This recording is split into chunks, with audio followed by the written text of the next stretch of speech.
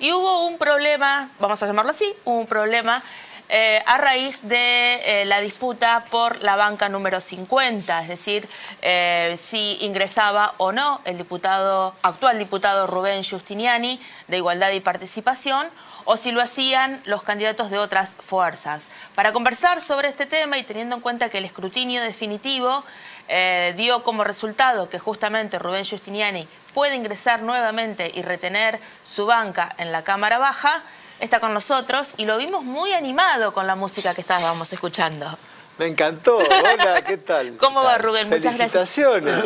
La verdad que un temazo de Carlos Pino. Sí, sí, sí. La verdad que muy, muy, muy bonito. Y, ese contenido de la forestal y tu voz, la verdad que una voz y la guitarra que que acompaña también, así que hermoso, hermoso tema. Sí, sí. Pues sabes que no, no, me acordaba de ese tema de, Pino que sobre la forestal. Hermoso, hermoso, hermosa poesía y hermosa voz. Mucha suerte.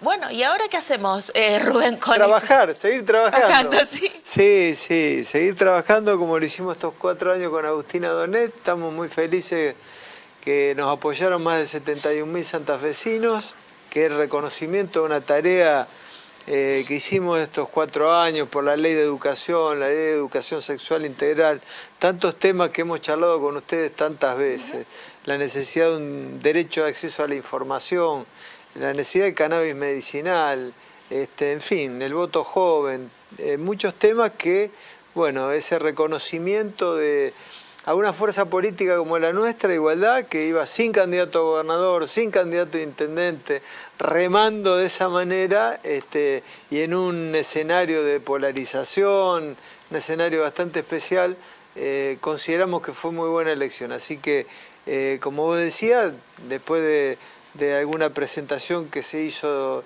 de impugnación a esta posibilidad, la resolución del tribunal incorporándonos en el número 13 de los 22 de, la minoría o, o, en el número 41 de la totalidad de los 50 diputados, eh, este, eh, es un reconocimiento a todo ese trabajo. Independientemente de lo que significó estas idas y vueltas en torno a esta, a esta definición, la nueva composición que va a tener la Cámara de Diputados y Diputadas a partir del 11 de diciembre muestra un oficialismo muy sólido, y em, una oposición en lo que respecta al justicialismo con 10 bancas, 7 son de UNITE, 2 de eh, la Fuerza Libertaria, 2 em, en el caso del Frente Amplio por la Soberanía, eh, su banca también. Esa nueva composición, ¿qué agenda puede manejar? ¿Qué controversias puede tener? ¿Qué grado de consenso puede lograr? ¿Qué diferencias puede tener?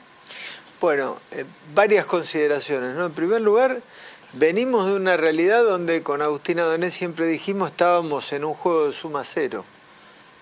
Porque en estas 40, años de democracia, eh, decir que todavía no se pudo tener una ley de educación en la provincia de Santa Fe explica ese juego de suma cero.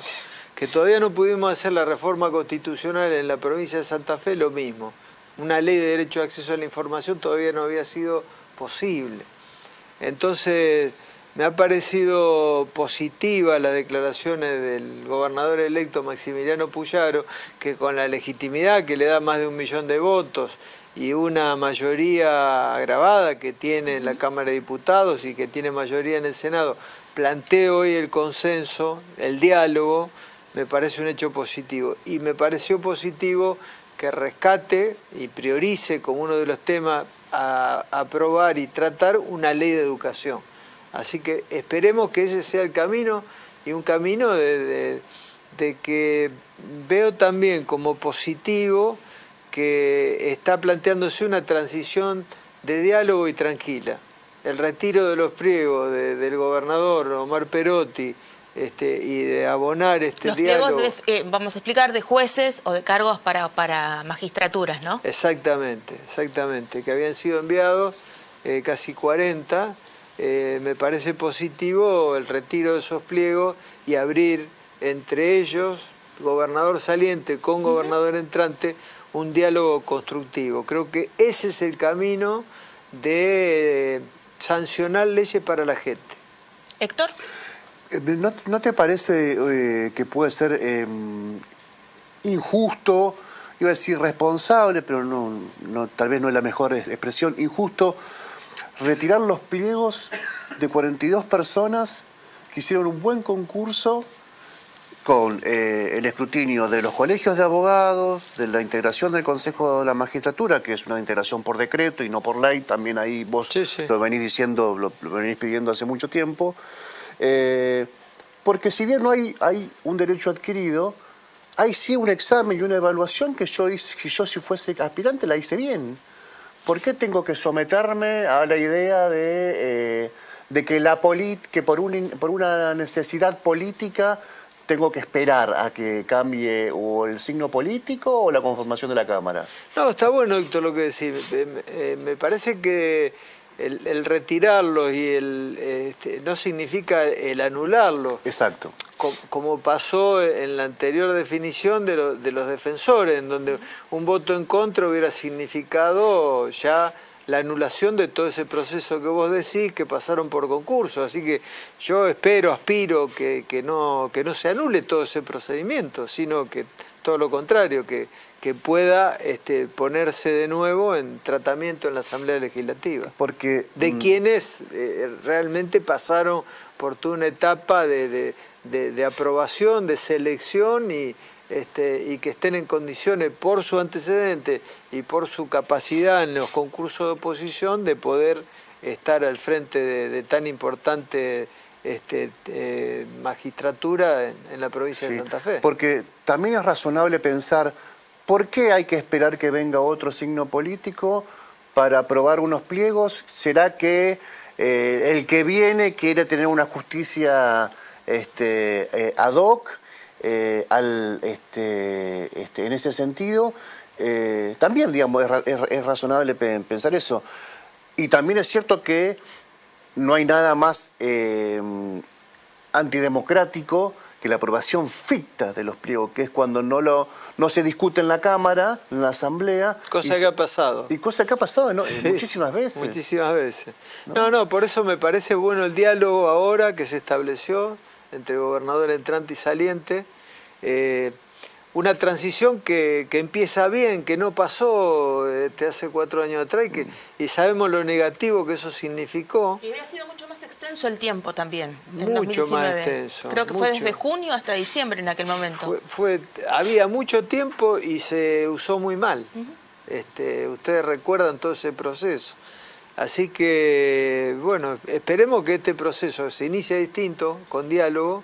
Este, pueda finalizar bien al 10 de diciembre y que la autoridad legitimada por el voto popular, la, legislatura legitimada por el voto popular, empecemos una etapa donde eh, podamos abordar estos temas que estamos diciendo, que es impensable, imposible este, sustentar que siguiéramos en ese juego de suma cero que tantas veces nosotros denunciamos en la legislatura. Vos alguna vez definiste el sistema electoral santafesino como un Frankenstein. Sí.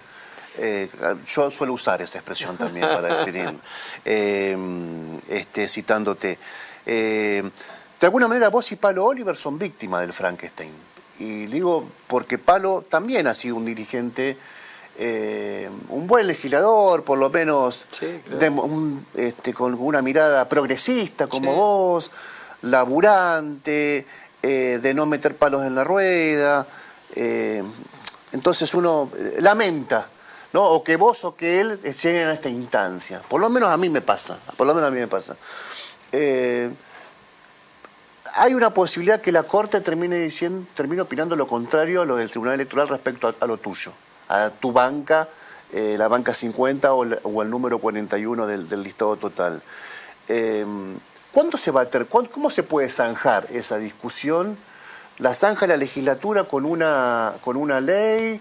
Eh, solamente este, derogando el, artículo de la el decreto ley de la dictadura respecto a ese, asunto, porque ya en el 2011 Carlito del Frade fue víctima de, lo mismo. Después creo que Verónica Venas también pasó por una... ¿no? No, no. Bueno, ahora vos, este, que es parecido al proceso de Carlito en el 2011, ¿cómo, cómo resuelve? ¿Cómo, ¿Cómo pensás que se resuelve? Mira, en primer lugar, eh, afirmar de que eh, desde nuestro punto de vista, desde el punto de vista del Tribunal Electoral, desde el punto de vista de los constitucionalistas que han opinado sobre el tema, el 9280, decreto de la dictadura militar, está derogado orgánicamente. Primer punto. Y por eso el tribunal ratifica nuestra presencia dentro de los 50 diputados. Primer punto. Segundo punto. Parece mentira, y esto ya como definición eh, eh, ya ni siquiera política, sino de punto de vista democrático, que en 40 años, después de 40 años, en democracia estemos discutiendo si está vigente o no un decreto de la dictadura militar, de un decreto de la dictadura militar. Parece mentira que a 40 años todavía estemos discutiendo si esto tiene vigencia o no tiene vigencia. Entonces me parece que para nosotros está absolutamente clarísimo el tema, contundentemente claro, como lo han expresado los constitucionalistas como Oscar Blando. Y, Conversamos nosotros con Oscar Blando hace unos días y también manifestaba la necesidad de derogar este decreto, porque consideraba justamente todas estas cuestiones, ¿no? Tenemos una normativa en materia electoral que tiene voto joven, boleta única, em, sistema DONT para la elección de cargos legislativos. Paso. Eh, elecciones paso, bueno, un montón de cuestiones que se fueron incorporando con el tiempo y que han construido algo bastante complejo, ¿no? En materia electoral. Sí, sí. Pero por eso para nosotros el tema eh, eh, es contundentemente claro y no vemos que sea un argumento decir, bueno, como se aplicó mal, y, además reconocemos que estaba mal, entonces sigamos aplicándolo mal, no es argumento. Nosotros, eh, para nosotros es muy claro que está derogado, orgánicamente derogado y por lo tanto este, corresponde. Por supuesto que es muy bien, Héctor, que vos hacías referencia al Frankenstein, y el Frankenstein es que no tengamos una constitución nueva. El Frankenstein es que tengamos estas anomalías institucionales que determinan que todavía tengamos fuera los legisladores que no lo tiene el presidente de la Nación, que todavía en Santa Fe ahora tengamos que esperar después, el año que viene, empezar a funcionar con leyes que podamos presentar los legisladores el primero de mayo. Esta es la anomalía institucional de Santa Fe este, que hay que abordar y por eso yo me alegro y espero, aspiro, de que esta nueva etapa puedan abordarse todos esos temas. Rubén, muchas gracias por haber venido y estar con nosotros esta tarde. No, gracias por la invitación.